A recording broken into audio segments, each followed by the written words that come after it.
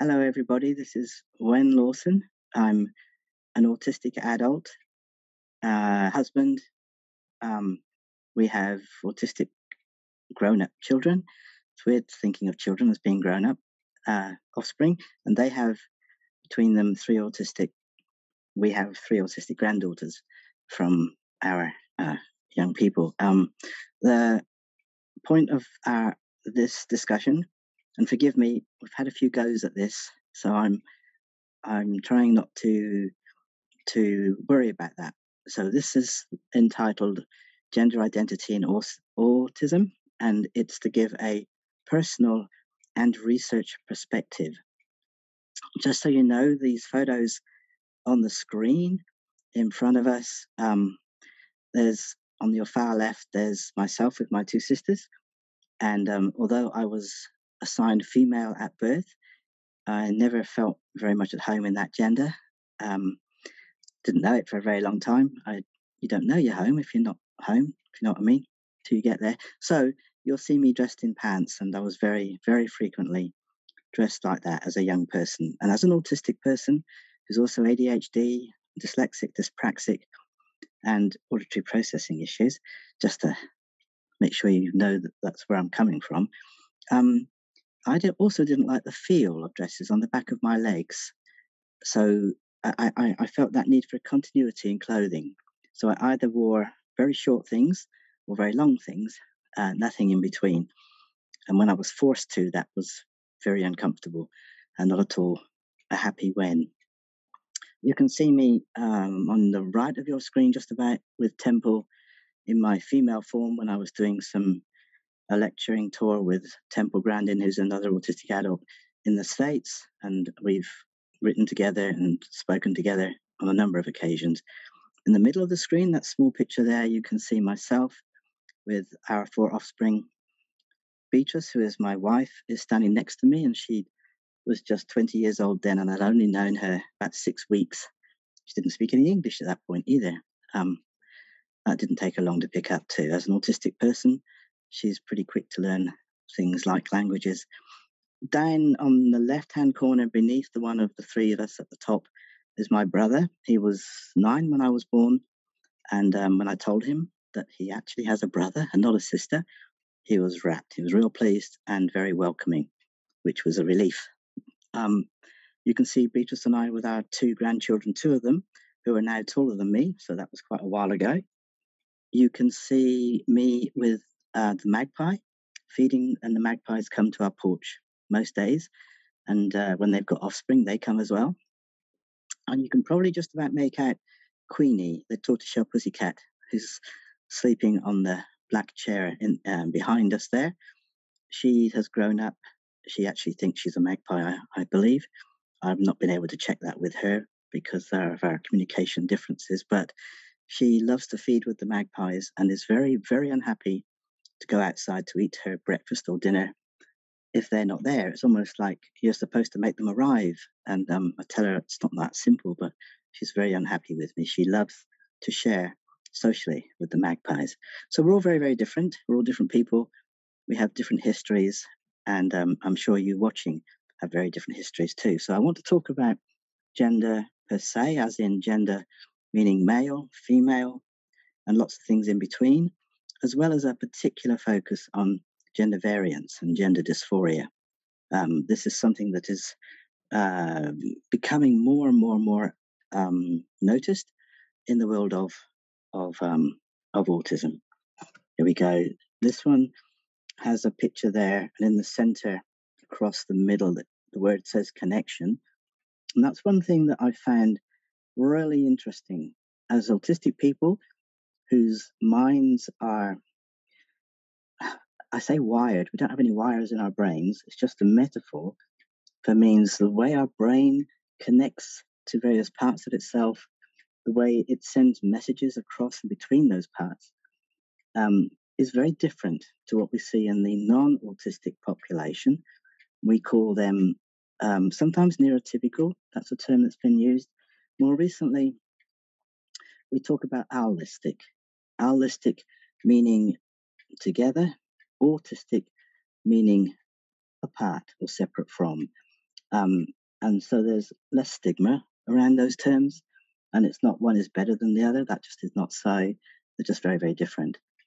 But if the connection process is happening in autistic brains quite single file, one one kind of thing at a time, we're much more likely to connect to details about something, um, especially details we're interested in, not so likely to connect to the bigger picture.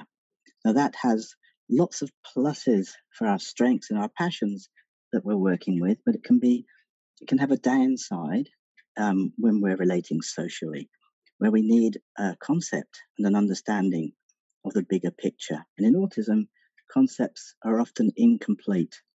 People talk about going out, they're very rarely saying they come back in, or they talk about what they're going to to um, to have for their dinner, or some other thing they talk about, but they don't finish the sentence, talk about what happens after or what that could mean. So we often, as autistic people, have incomplete concepts, and it's very important that people understand this actually.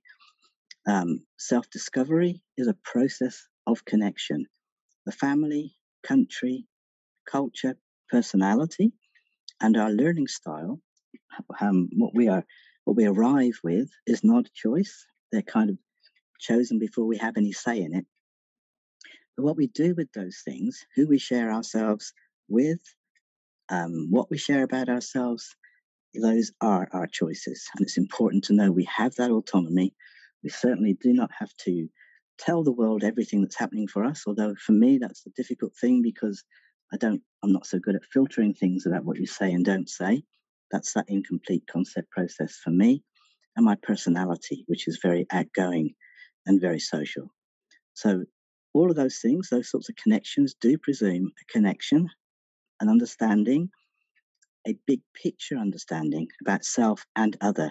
And that takes time in autism. It's not an easy process to um, to engage with or to get uh, some kind of completion from. So even when we think of the female gender in autism, you know, and it's not just in autism, but in in being human, um, we're all very, very different. You've got girly girls, you've got tomboy girls, and all of those in between. Um, it's quite a, a, a, spectrum, that gender, and it's the same for the male gender. Very rough tumble, perhaps uh, footy kind of guys, to guys who um, who are not sports people, um, who might be more inclined to reading, for example, and and that's they're all just as male, but they present differently. And unfortunately, our stereotypical understanding of gender has meant that certain aspects of who we are have been overlooked, prejudged, um, people haven't been sensitive to, etc. And it's it's very interesting some of the research that's showing lots of this kind of thing in autism.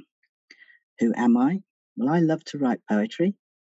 I actually find writing something down and then reflecting back on it very helpful to making sense of my world. So, this is a poem that I'd written uh, about gender. Who am I?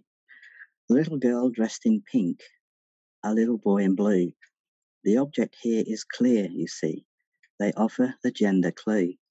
The picture of what's right, the picture of what's wrong. We see it every day, we see it every way, we hear it in a song. But whose song do we sing? Who do we represent?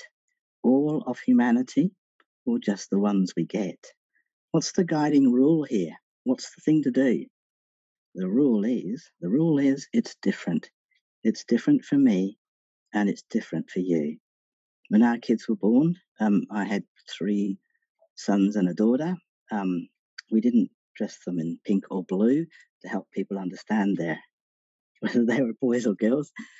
We tended to dress them in yellow, purple, deep blues, um, green, simply because of my love for color. Um, and because all of my kids were bald, that means they didn't have any hair. Uh, a bit like me, really, but I've got some here still, uh, not a lot on top. So it was harder for people to even recognize the baby as a boy or a girl. So we used to say the name and hope that that would be an indication. Um, sometimes we talked about my son or my daughter. Um, and we never even thought that possibly uh, as they grow up, they might change their mind about being a son or a daughter. Um, gender is not set in, in cement and it can change over time, but I'll tell you a bit more about that shortly. So, different from very early on, I was a very different kid to my sisters or my brother, although my brother is also on the spectrum. Um, he was nine before before I was born, so so when I was born, so I didn't really get to know him that well. He'd left home before I'd um, gotten very old. So, but anyway, usually, frequently, traditionally, we understand gender as set. We look at the physical appearance and we make a judgment that person's male or female, which of course we now know is not the case. Stories from autistic individuals tell us otherwise. Some people are not binary, they're not bound to that physical gender. Um, some feel much more female or much more male, or some days of the week female, other days of the week male, and some are just a cross between the two. In, in, in old terminology, we possibly would have thought of them as androgynous, um, but that's another story. So, very, very different. So, just like everybody else, we grow up and change over time, but our connection to our gender identity actually will too. So, as autistic people, we have a different sensory system. Uh, I should put it a little bit differently. We have a sensory system that senses things like anybody else. We see things, smell things, hear things, taste things, and so on. But um, our sensory system is governed by the way our brain is arranged, if you like. So, because our brain is is programmed, put together to be quite single focused, um, that's going to impact on our sensory system too. So our senses are going to be quite heightened or underdeveloped, if you like, and very often move, move between the two. So things we see can seem too bright, things we hear can seem too loud, tastes in our mouth can feel really quite strongly in one way or another and can and certain tastes and certain feelings of food and things we can feel uncomfortable with um, etc. That's the external senses. And for a very long time, when I was growing up, some of the discord or the um, discomfort I felt with some of my senses or information from those senses, I put down to my autism. It took me a long time to recognize the difference between a sensory overwhelming from um, a natural, sort of normal outside stuff to what was actually overwhelming from my inside stuff. So the inner sensory system is called our interoception system, and that's that's the system that lets us know about internal things, like if you're too hot or cold, uh, hungry or thirsty, need the loo, um, if you're in pain, um, if you're anxious, and that there's a process of noticing our, our tummies are uncomfortable and things like that. So when I couldn't touch or bear anybody else anywhere near my my breasts at that time or chest, I thought that was a sensory thing because I don't cope with people um, close to with the sound close to my ears. That's very uncomfortable. People eating can make me feel quite uncomfortable. Um, and I couldn't tell anybody for a very long time. But in fact, that sense of not wanting anyone to touch this part of me was a gender thing. And I didn't discover that until I was talking to other people who were transgender, who changed their gender from the one they were born with or assigned at birth. They're born with the same gender. I'm I was born male, but I wasn't assigned male. I was assigned female because they made a a um a decision when they saw my genitalia. This is this person has a vagina, they're a girl. And our physiological sex may differ from our gender identity. And I'll explain a bit more about that. And there's a web page there to look these things up on, if you wish. Now, when we come into the world, we're a bit of a blank page, if you like. It's only as people get to know us and we get to know ourselves that things can change. But you know, especially true for females, I think. Males do this as well, but especially true for a lot of females. They they are born with double X chromosome. Uh, males usually have XY. Women usually have double X. It's not always the case. And on the tip of that X chromosome, there's a it's there's it, we're coded for sociability. So females are born with a double dose or a double ability, if you like, to notice socially. And the guys only have one X. I know it explains everything, right? Um, so women have two, and this means they have an added advantage, even as autistic females, an added advantage of being able to watch what other people do, learn and copy. They learn over time quite often what will keep them safe, what will um, help them blend in, what will guide them through a situation so they don't get into trouble. So this is called, well, I call it adaptive morphing. A lot of people call it masking or camouflage. So that's going to give a covering of sorts where people won't see the real you. They won't see the real you. They'll see the mask that you present to them. Now, this will mean for a lot of people, a, a diagnosis or a, a recognition of autism will come later in life. And it might be after many misdiagnoses, after treatment for things you don't really have, um, um, mental health stuff, bipolar, anxiety disorders. Now, don't get me wrong, things can co occur. You can be autistic and have depression. You can be autistic and bipolar. You can be autistic and OCD. These things, uh, uh, having an aspect in one direction doesn't mean you won't get anything else. But because it's not seen, people do not see the real you, that also means that the risk of mental health issues like depression is much higher. And if you're disconnected from your true sense of gender, that'll be even higher. It's very high amongst autistic and gender questioning individuals. There's another web page there for you to, to look up. Um, if you've ever watched Dr. Mosley on his, he does a program, he does lots of programs, but there's one about the the the the, the, magic of you of, of of a baby and developing and it's fabulous. I, I can send the link to Mel afterwards. In, in episode two of that series, he talks about a baby developing their sense of gender identity and what can happen. And he says that around eight weeks, uh, the, the the fetus in utero, in the uterus that's developing, is subject to a particular hormonal wash. Now, we've got these little buds within us that can become either testes, penis, um, vagina, ovaries, uterus. They look identical when you're very young, as a, a little eight week old fetus. Um, but that hormonal wash, usually in sync with your chromosomes, double X for girl, XY for male, usually, um, will trigger that your body to to grow and develop in a particular way. Double X becomes the girl, XY becomes the male. Now that's only physically, physiologically, your outer body and your inner, your physical self. Later, at about 14 or 15 weeks, there's another hormonal wash that actually orchestrates your brain and your nervous system. And this is where gender is formed. It's in that system, not in your physical one not in your reproductive system, but it's a brain sense of who you are.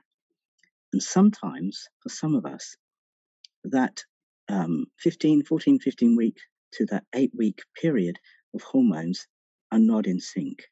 So you can get you can get a hormonal sync that usually goes with being male, given across a female disposition or female physical body, or you can get the other that's usually given for males. Um, and you're not male, at least your physical body is not. I probably said that wrong, but you get what I mean. I'm just a minute, I just get a bit of reassurance from him here. Oh, thank you very much. He says it's all right. So um, if that happens, then you'll get a dysphoria, a split between your gender identity and your physical identity. And that's what we know as gender dysphoria. So that means you're going to grow up in one way, female or male, but your gender identity is going to feel the opposite to who you were assigned to be at birth. This is important because this is happening much more often in autism in the autistic population as compared to the allistic non autistic population. So for me, after my diagnosis, after recognition, don't really like the word diagnosis, but it's still seen as a sort of a medical thing. Um, whereas I feel that autism is a disposition that's beyond medical, it's more psychosocial, it's such a wider thing than a medical thing. But anyway, once I understood that I was autistic, I also understood the reason for a lifetime of social and academic difficulty, and the relief the relief was huge. I now know there are reasons and ways that enable me to learn the way I do, which are better than some of the others. For example, you probably have heard that a lot of autistic people are visual learners. Um, I'm not actually a visual learner. I'm more an auditory learner. So that means I learn more by not what by what, what I see, but what I hear, and I I remember um, lots and lots of um, words and phrases and things that I've I've I've learned from television, from books and things like this. Um, and I'm fortunate that I do have accompanying visual images. Um, there are people who, who do not have that ability. They can't actually conjure up an image in their mind of something they've just seen. Uh, that's not a possibility for them, which makes that sense of connection to self and other even harder. Um, but it's important to understand this because however we're going to learn, a person or persons need to understand this is my learning style. If they don't understand, they might try and teach me visually. You know, as a kid, I would have torn the pictures up, taken them off the walls because they, they were in the way of my learning. Um, I need to to listen, not look. So trying to make me give eye contact was very, very uncomfortable. So it's important to understand this because we want to build connection to self and to other people, whatever our gender. Um, and if we don't understand it, we might mess it up. So I still needed to understand my sensory system and my gender status because I lumped it all together under uh, the heading of, oh, this is autism. Oh, these are sensory issues. And I didn't understand that they were, in fact, different, that there are some gender issues for me that have been going on for many, many years It took me a long time to join the dots. I never liked wearing bras, nothing new. Lots of females don't. Um, I didn't like dresses. They bound against my legs that caused me discomfort. Um, I was allowed to wear boys' clothes, even at school. I was allowed to wear jeans because of a physical disability I had. I wore um, leg irons when I was younger, the calipers, they're called. And I needed my jeans over the top to help protect uh, my leg that was quite slim from a particular disease that I, I, I had when I was younger. Um, so anyway, where am I saying? So I still needed to understand the differences. I was different forever. It's not like this suddenly entered my life. It's ever since I can remember. I felt different. I grew up as a tomboy. They kept calling me a tomboy. And I remember thinking, why not Jeff or John boy? Nothing to do with the Waltons, of course. But why? And, and there is a reason for Tom, but I can't go into it now because it's take up too much time from our session that we're supposed to be having. But I, it was normal for me to feel quite male. Um, I would practice lowering my voice, walking like a guy, peeing standing up. Now, if you don't have the right um, uh, mechanics for that, uh, can be a pre- pretty messy business. Um, the penis usually points away from your body, so you can usually pee, although it isn't easy to aim. I can tell you this from experience now. Um, but that was difficult and different because I was, in fact, living with a female body. I denied female puberty. So I got my first period uh, as a 10 year old. And I remember being told to, to go home because I had blood on the outside of my clothes. And uh, I, I didn't recognize it, I just ignored it. And I tried really hard to keep my chest as flat looking as possible. Yes, over time, I didn't keep on ignoring it. I had to do something about it. And I did put pads inside my undies, just in case you were worried about that. But, you know, there are girls that I know of who do not want to grow up and become women, not because they're not female gender. They don't want to be, or they don't have a concept for being an adult. Don't understand that. So they do things like limit their food intake, thinking that that will keep them. Um, I'll stay a child if I don't eat properly. I don't even know if they always absolutely understand what it is they're doing. So you can't actually put off growing up, and you don't need to. We just need to be sure that we have support to take us through those years of going through puberty, which is pretty scary, pretty scary, and um, sometimes very hard to try and navigate on our own. If you don't have a concept for what this means, then we need somebody to help explain all that and tell us that it'll be okay. We will be okay. So here I am as a 13 year old, I think, my apparent anatomical gender um, and my personality and my autism absolutely made me very vulnerable. Being very social, but not getting the understanding of the of the rules of social interaction, certainly not recognizing when someone is being a friend, a trustworthy friend, when somebody is just wanting to abuse you, I couldn't tell the difference. And a lot of our kids won't be able to either. I was lively, outgoing, independent, keen to learn. Great. But I was also gullible, vulnerable, go off with anyone, totally unaware of danger. And when I was young, um, nobody really noticed whether I came home from school or not. And we had a, a local camp of travelers um, just outside the town. And I used to ride my bicycle and spend days with them, sitting around campfires, singing songs, riding the pony. They had a black and white purple pony, which was absolutely brilliant. Um, and uh, the little girl Jenny that I played with used to ride my bike, and I'd ride her pony. So nobody missed me. But this has a downside to it. The people at the, the traveler park were amazing. They were very trustworthy, beautiful people. And if I ever met them today, probably never will these days. They're in England, and I'm in Australia. But um, they saved my life in more ways than one. But unfortunately, there were other people outside my family who were not so trustworthy. And yep, I, I was sexually abused. Um, and that went on for many, many years. And I didn't understand the difference or the what was allowed and what wasn't allowed. I was talking to um, my counselor recently and saying, you know, I still feel a sense of guilt and shame about what happened to me. And he said, you know, when when we're getting consent for a research project, a person is underage, we get the parents' consent because children are deemed as not being old enough to give consent. You did not consent. You did not consent to what happened to, to you. And it was a really nice feeling inside me as I realized I'm not guilty because I was a child.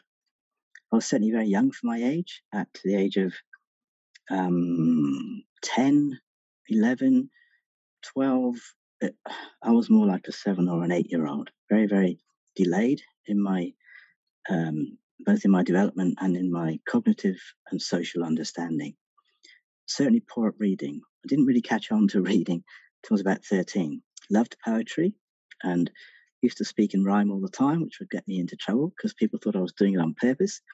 It was quite natural for me. But one of the things I loved was acting and lots of games behind a, a big box with puppets, puppet shows that I used to entertain my sisters and the local kids with. And the beautiful thing about that was that it, it gave me a script for a story that enabled me to build all sorts of connections that I couldn't do outside of the puppets. And if that's what you have to do to help young people growing up understand, we need to work with where a young person's passion is to build those connections for them. I grew to feel at home in quite studious activities, um, to the surprise of my family, who didn't didn't think I would ever amount to anything really. I was always in the special class, the special school kids, um, special needs kids, because I, I was deemed as being um, educationally subnormal. I remember the term intellectually disabled, which um, I'm not, but it can appear that way. Why am I telling you all this? I'm telling you all this because we are all people who are complete, not just bits and pieces of something. Our gender is all of us. Um, and we need to find out ways to relate, share, teach, and educate the young people that we're supporting. I was told lots about the things I couldn't do. And again, there's such an emphasis on things we can't do, which, which hurts me because there is so much we can do. I was told I couldn't learn, but I did. I wasn't expected to finish school. I did. might have been 38 when I went back to do year 11 and 12, but I got there. At 41, I started university, and at 57, I completed a PhD. I have a wife, a family, and a few friends, and most of my friends I actually consider family. Um, sometimes the families that we're born into are not very uh, accepting of who we are, and that can be difficult. And if that's the case for you, it's better to find other people to relate to you who can be your adopted family and who can be uh, what you need to support you as you grow up um, and travel through whatever it is that's happening for you. I'm very good at detail. I get lost in the detail. Um, so that again uh, points to that issue of not seeing the bigger picture.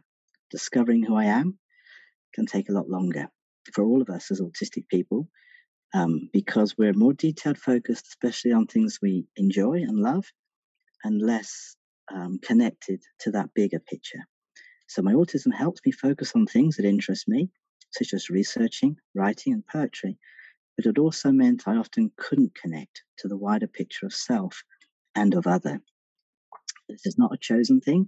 This is a part of me having the brain that I have, my autistic brain, which works with things one at a time and doesn't necessarily connect me to to to those other things that are part of the same picture um, that I need connections to so that I can navigate them. Uh, autism, sensory or gender issues, and I've touched on this a little bit. Sensory connections absolutely impact gender. Um, I don't feel like the gender I'm told I am, but I didn't know what a woman or a female should feel like. And you know, not allowed to go up and touch one and um, see what they feel like because we're talking about well, you can touch your mum probably or your sister on their arm. That's probably all right. But um, we're talking about an internal feeling which you can't get to. I couldn't get to. What is it? Why am I so uncomfortable? Um, gender, this big part of my identity. Um, what is it that I can't connect to? Gender questioning is really common in the autistic spectrum for us as autistic people, very common. And a lot of people say, well, I'm not, I'm not a boy or girl or a man or a woman, I'm me. I'm me. And they don't see any need to go beyond that. And that's fine. That's fine. But the me that I was connected to, I didn't feel at home with. I invented a middle uh, gender, uh, if you like. I talked about middle sex. Um, um, and in fact, we know that there's probably as many genders as there are stars in the sky. Um, but no, there was no place for the middle sex. Uh, it still didn't really help because um, it, it, I couldn't look that up anywhere. I couldn't see any role models. I couldn't couldn't put a, a wider name or understanding to it. So I, got, I took a while to notice my thinking feelings and comfort gender wise were not because of autism, but because I had gender dysphoria. It took many, many years. I was 62 years old before I began to notice that this is what was happening for me. So I met a boy uh, and we got married. Um, uh, this is interesting because somehow inside or with him and he, what he had a beautiful motorbike, matchless, very old English bike, that he built up from a 250 to a 500cc bike. It was a lovely bike. And somehow for me, the detail of him and the bike were one. And uh, sad to say, I think I loved my I loved his bike probably more than I did him. But anyway, we went everywhere together. He was the person who took me to all the youth group meetings. And I remember the youth group leader saying to us one day, You two, you're like an old married couple. And I, I, I said to the pastor, We're not married. And he said, Well, you should be. So what do you do? You know, I'm very literal. I thought, okay, well, he thinks we should be married. We better do this then. So we married. We had four kids. Very easy to do. If you want to talk more about how that can happen, you can ask me afterwards. But very easy to do. Um, by the time my eldest was nearly 10, and Katie was nearly eight, Maddie was four, Tim wasn't quite two. A young lady called Beatrice came to stay at the house where we were. She was the au pair girl to the home. Um, we had rooms in somebody's house. And um, she didn't speak any English, but you know, there was an immediate attraction between us, and we didn't really understand it then. And she didn't have her diagnosis of autism then either. But um, Beatrice had a bigger impact on my life than certainly the father of these children. Um, I know this is really sad, and I always believed that uh, marriage was for life, and we had lots of problems in this relationship. This man was quite abusive at times, which I didn't understand. And um, I remember going to a counselor and talking to this person, and she said to me quite clearly, and I've written about this. She said, "Wendy, that was my name then. Um, you stink." And I thought, "Oh dear, it's not right to myself." And she said, "You are carrying a dead relationship, a corpse of a relationship. And the only thing to do is to have a respectable funeral, which is called a divorce. wow. Until death do us part. And this relationship had died. So that, that released me um, uh, to pursue, um, as time went by, uh, the separation from from from the father of these children, and um, enabled Beatrice and I to to be able to form a, a relationship and live together. I've written about these things, so you, you can look those things up more in more detail in my books. For more, I felt much more male than female. I loved being a mum, but I felt wrong as a woman. Uncomfortable shopping for clothes that women had to wear in women's shops or in you know in target in the theme in where the women's bits were came up where the women's bits were. Very uncomfortable. Um, much more drawn. In fact i always bought men's clothes men's jocks uh, men's shirts and so on. Uncomfortable in public toilets. I was in the ladies toilet waiting for someone to come up and say hey what are you doing in here? The men's is next door kind of thing very hard to explain i certainly had no understanding of this internal um, wrestling that was going on within me. And we've had some fun times. Katie and I, my daughter, sitting in the back of the taxi, for example, and she's going, Mum, Mum. And the taxi driver's looking at us in the mirror. And I know he's quite confused because I don't look like a typical mum, if there is such a thing. I'm a man mum, but I'm still mum. Um, eventually, we did get divorced. Beatrice and I formed a partnership, and we've now been living together and married uh, together for 37 years. But she couldn't emigrate to Australia for a long time. We had to get special visas and things. So she was 28 when she came to Australia. And because I was still living in that female form, we decided we must be gay. Now, sexuality is a very different thing to gender. They're very different things. Sexuality is that um, romantic expression um, if you like, and the gender is who you believe you are, and they're very different. I was very, very, very drawn to her. Um, I loved her, and so okay, well, we must be gay. At that time, I was totally un- unaware that I had any other choice, and um, that was really interesting. We got married um, when the laws allowed to same-sex people to marry. This was in the UK in 2007. I did ask for the iced wedding cake to be red and green. I, I loved color and I wanted red and green, but they they they thought wedding cake must be white with red and green decorations. I think I was a bit disappointed, but the cake tasted good, so that was all right. That was all right. Um, she's gorgeous, hey? Yeah, I think so too. Anyway, concepts of normality. Uh, I've actually written a book called that. We form these beliefs based on familiarity. Human beings feel safe in what they experience as familiar. This then is mistakenly, mistakenly becomes what is normal.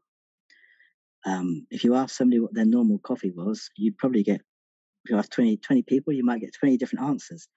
There isn't one normal way of having coffee or one normal way of having tea. There are many.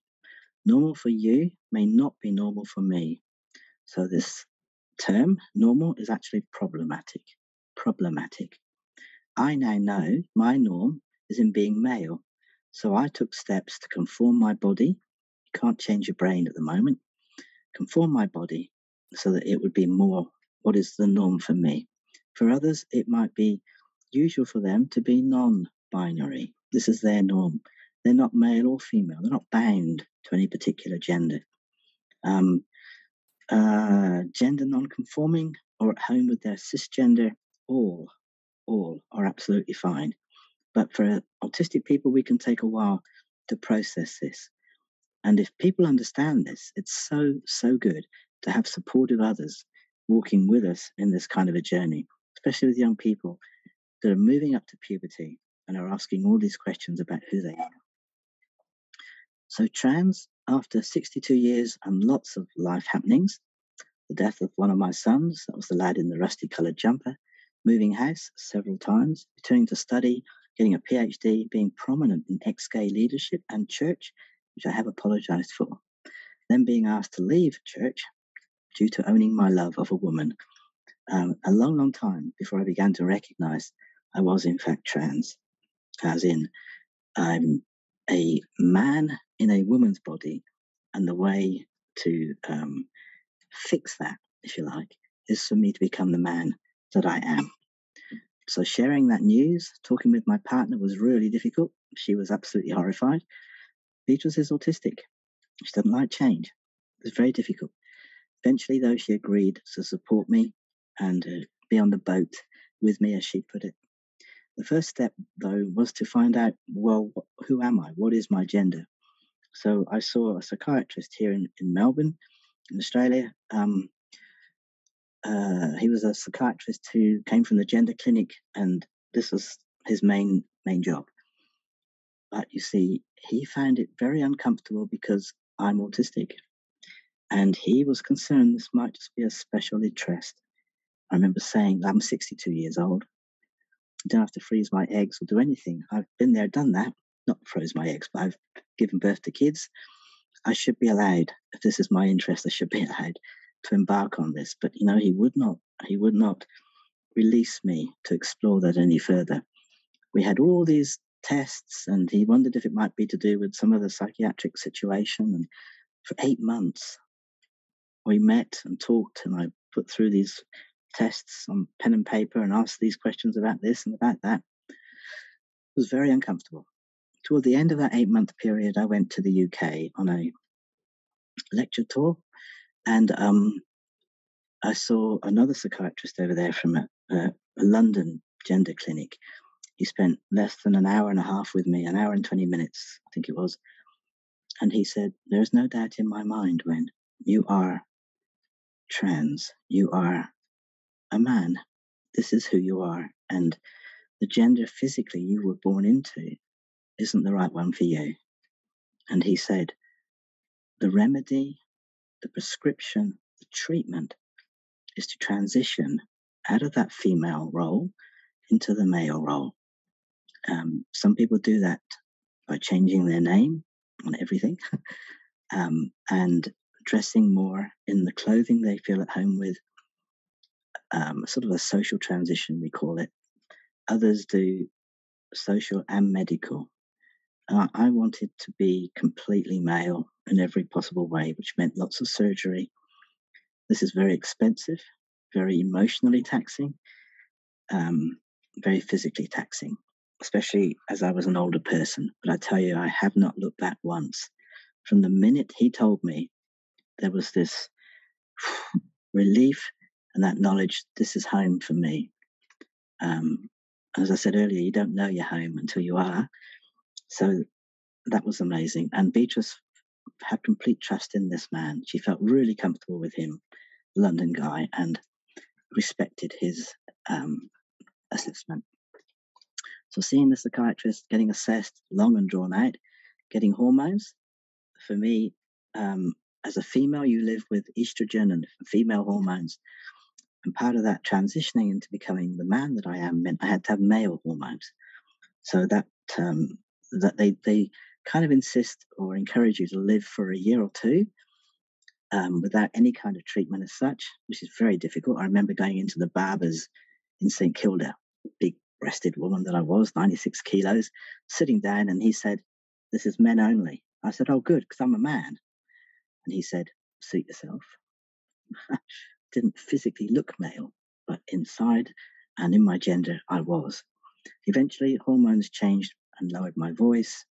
Eventually, I was able to have surgery to take boobs away and change my body and conform it to uh, to that of a, a masculine body. So that took it was a long process over five or six years, and this transition only began seven years ago. So it's you know I'm only just at the tail end of puberty, really. Just thought I'd tell you that. So gender dysphoria, GD, and incidence in autism is very high. The studies to date show gender dysphoria is more likely to impact autistic individuals than those in the non autistic population. And there's another web page you can look up. But we need to understand and be prepared with the right support.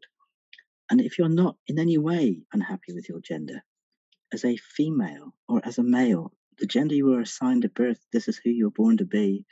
We're still, as autistic people, are going to need to understand what that means for us. Remember that earlier on in this talk, I talked about masking and um, copying and not really being quite at home, and knowing who we are. It's far too common in the autistic population, and we need support sometimes to unravel who we actually are. Research is showing up to 40% of autistic individuals live with gender variance, gender dysphoria, and this population is incredibly vulnerable. I know that this is a difficult topic, but being difficult only means we need to be more supportive, not less, not judgmental, listening to what autistic kids and teens and older people are saying. We want them, we want them to have a future. We want them to have a future. Now, um, Sam is writing a position paper for reframing autism, and he sent it to me uh, to check out some quotes. So I I put this piece on the slide because I thought it's so important. Now, I say LGBTQIA plus. Sam had written it, I think, TIQA. So there's both versions on here, but this is how I say it. So a recent survey of LGBTQIA plus. The Q is for queer, L is for lesbian, G is for gay, B bisexual, T trans, I is for I thought you were going to tell me intersex. And that's again something we don't talk enough about. So there are parts of me that um, have been shown to have um, aspects of both male and female within my anatomy. Um, and it, it's not as unusual as people think, but we need to talk about that more. And A is for asexual. There are lots of autistic people who are not sexually inclined. They need their hugs, they need to be loved, but they're really not into sexual intercourse, interaction. Um, and you can look these terms up, but this is much more common. That whole label that I've just described is much more common.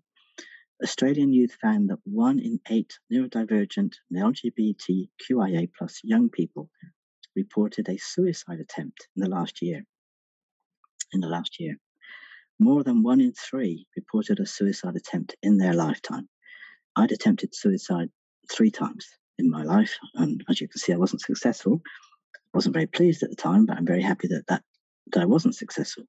But I understand what can push somebody to feel incredible despair. Um, the rate is more than twice as high in LGBTQIA plus young people without a disability, and five times as high as the same age group who are neither LGBTQIA plus nor disabled and you can look that all up. Now that's incredibly high, incredibly high. Um, you don't come back from this. Once you actually succeed with suicide, that's the end. There's no second chance. And we need to be in relationship with our young people, whatever their gender, uh, whatever their sexuality. We need to be in a relationship that says, I love you, I support you, I'm walking with you. Um, otherwise, we risk losing our child. We risk losing our child.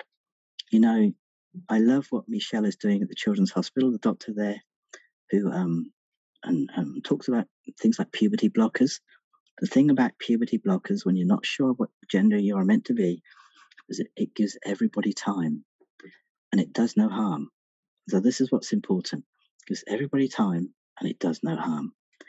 Some people have said to me, yes, but it means if you delay puberty, you're putting a greater distance between um, this person and their peers. This uh, 12, 13, 14 year old might be like 16 and they're still 14, as in their development. Do you know that's the least important thing in this whole scenario? This is so strong, an incredibly strong thing that um, puberty blockers buy time to sort everything out, to help us know what is sensory, what is gender, what is personality, um, what is learning style, and so on. It's so, so important. I cannot stress how important this is. So please, if this is where you're at, um, you, you talk to somebody who knows about it, feel reassured, um, travel on this journey with us. Over 40% of trans individuals living with GD attempt suicide. It might even be higher than that. And you can look up um, more information about this on this webpage. I'm aware that I'm not physically at a conference for you to ask questions, but I hope that somehow, if you need to ask questions, Mel can convey those to me or the right person uh, to be able to answer them. These are some resources. My webpage is at the top, www.lawson, Wenn Lawson, sorry, .com is one of them. I've got a YouTube um, channel. I've got um, Facebook. Uh, Yenn and I have written a book called The Autistic Trans Guide to Life that touches on lots of the things that I've been talking about and more. Um, my wife and I, Beatrice and I, have also written the book on transitioning together. Just one couple story of gender and identity discovery as autistic people. Um, women and girls on the spectrum, a profile. That's um, a page that you can look up. And Booktopia has a great book on gender identity, sexuality, and autism as well. And those are all readily available for you to um, to look up and find. So that's the end for me.